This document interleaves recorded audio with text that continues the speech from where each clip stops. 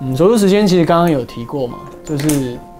依据复杂度，大概范围就是从可能从三个小时到十个小时都有可能。那恢复期，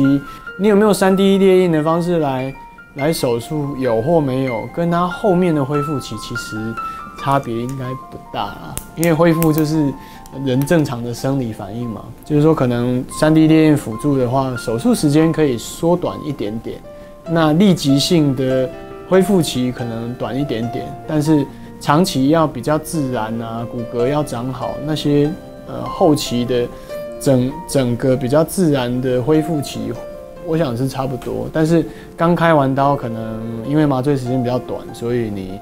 嗯比较快就可以下床啦，或者说你的脸部的肿胀比较少一点啊，出血少一点啊，哦，可能就是可以比较快一点就可以回到工作岗位去工作，